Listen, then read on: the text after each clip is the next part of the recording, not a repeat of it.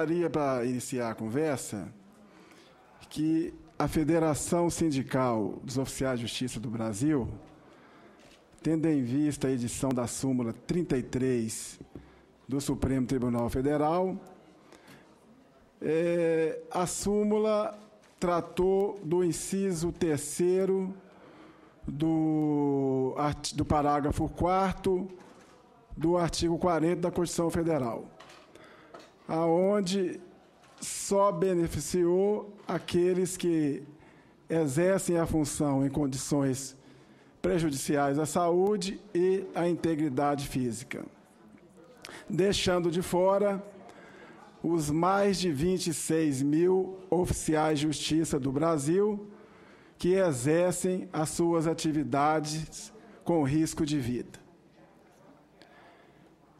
pois a maioria dos oficiais de justiça é, recebem o adicional de risco de vida, sem isso incluir, excluir que ele ainda faz jus aos adicionais de insalubridade e penosidade, viu, viu senador Paulo Baim?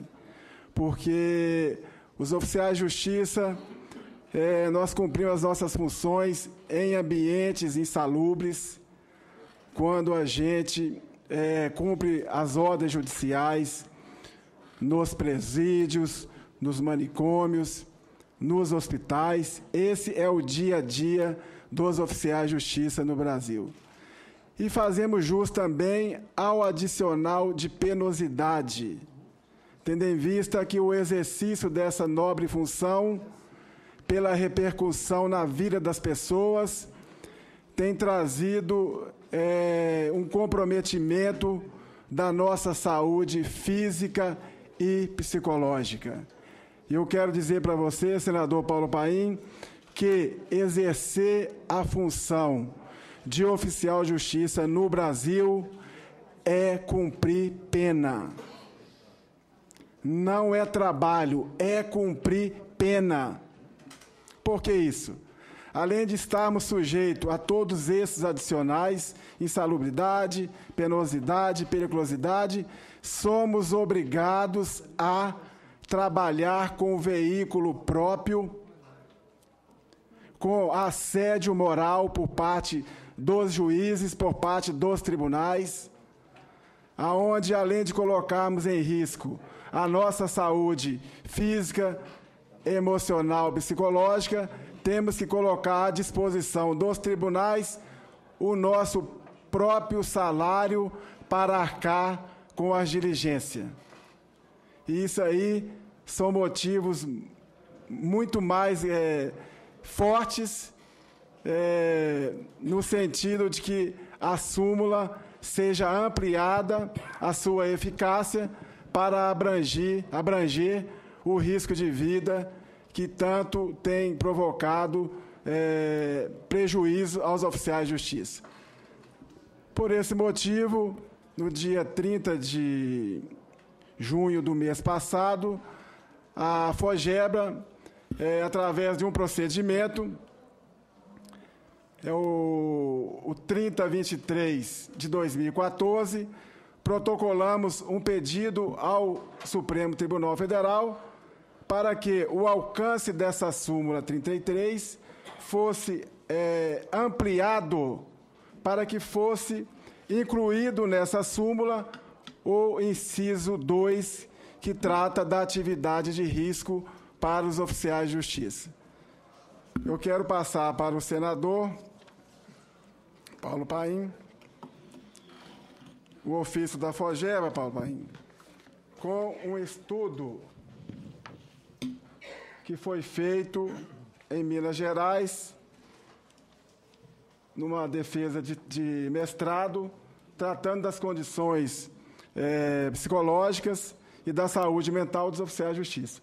E fazemos também um pedido para Vossa Excelência, no sentido de que é, o Poder Legislativo Federal, tanto o Senado como a Câmara dos Deputados, nos ajudasse nessa questão, se houver algum PL, algum projeto de lei que trate da aposentadoria especial dos servidores públicos que os oficiais de justiça sejam incluídos nesse PL. E se houver um PL por parte dessa casa ou da Câmara, que os oficiais de justiça sejam incluídos. Porque o que não, o que não faltam, senador, são motivos para isso. E nesse protocolo que eu passei para Vossa Excelência, nós temos um laudo pericial feito pelo próprio Tribunal de Justiça de Minas Gerais em 92, aonde o perito concluiu que o oficial de justiça está é, exercendo sua função em ambientes penosos, insalubres, fazendo jus à periculosidade e à insalubridade. Isso em 92, Paulo Paim. Agora, com a lei de 2011, conseguimos é, incluir os oficiais de justiça também é, e passaram a receber o, o adicional de risco de vida. E passo para Vossa Excelência também um, um estudo sobre os afastamentos médicos no período de 2009 a 2012 no estado de Minas Gerais. Eu gostaria que Vossa Excelência depois desse uma lida com calma, é, para que Vossa Excelência pudesse perceber o quanto a atividade de oficial de justiça é perigosa e, e atua de uma forma negativa na saúde física, mental e psicológica desse trabalhador, desse agente público que materializa as ordens judiciais para esse Brasil afora, Excelência. Então, se Vossa Excelência verificar, são vários tipos de doenças vários tipos de transtornos para esse trabalhador, levando a ele a se afastar das suas atividades laborais por um período muito grande na sua vida útil. É, problemas é, que têm gerado é, o suicídio entre os companheiros, o uso de drogas, o, o vício em bebida alcoólica, sem contar com os problemas na coluna e nos joelhos, tendo em vista que os oficiais de justiça são as pernas do Poder Judiciário. E temos também uma coisa para agravar a situação, senador, dos colegas que é, são pressionados e assediados, tendo que usar o veículo próprio e para não terem mais prejuízo no bolso, tem feito uso de motos. E temos colegas oficiais de justiça que hoje é, estão estéreis, não podem ter filhos mais, tendo em vista o uso diário de motocicletas, rodando 300, 400 quilômetros para cumprir uma diligência e o fato de estar ali em contato em cima da motocicleta afetou a, a sua função reprodutiva.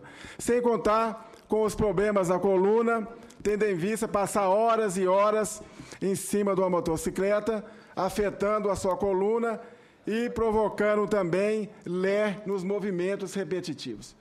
Então, é, a FOGEB está aqui para denunciar essa situação e pedir a Vossa Excelência e ao Congresso Nacional que intercedesse pelo oficialato judicial do Brasil, que vem sofrendo de forma desumana, porque os tribunais, senador, não têm dado atenção àquele princípio que fala da dignidade da pessoa humana.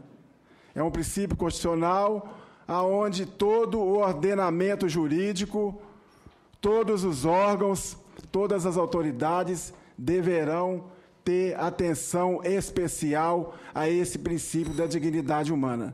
E nós temos isso, deputado, senador.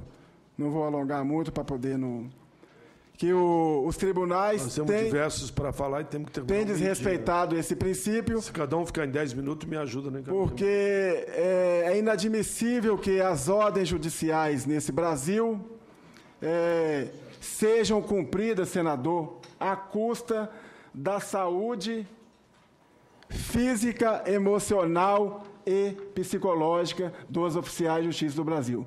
Então, gostaria muito que Vossa Excelência intercedesse, junto com o Congresso Nacional, para que pudéssemos amenizar essa situação e nos ajudasse para que essa súmula vinculante 33 fosse ampliada de forma a abranger os oficiais de justiça do Brasil inteiro. E, para terminar, é, gostaria de agradecer a Vossa Excelência aos parlamentares aqui presentes, em especial a senadora Ana Rita do Espírito Santo. E gostaria, Excelência, para terminar, fazer duas perguntas. Estamos regidos pela Constituição Cidadã de 88 ou pelo Poder Judiciário? É o Poder Legislativo o órgão constitucional para legislar e criar o direito nesse Brasil ou é o Poder Judiciário? Muito obrigado. Tudo bem.